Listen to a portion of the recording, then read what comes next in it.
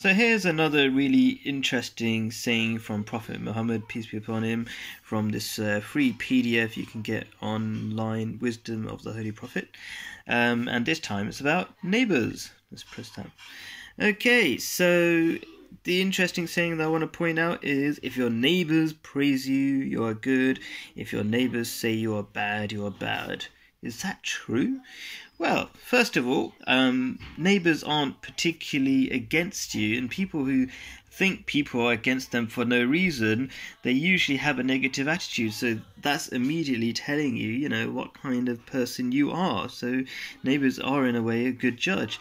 But also, neighbors, being neighborly is the beginning of trying to make the world a better place. So if you're not neighborly, then you can't be such a good person. So it's a good measure of how good you are.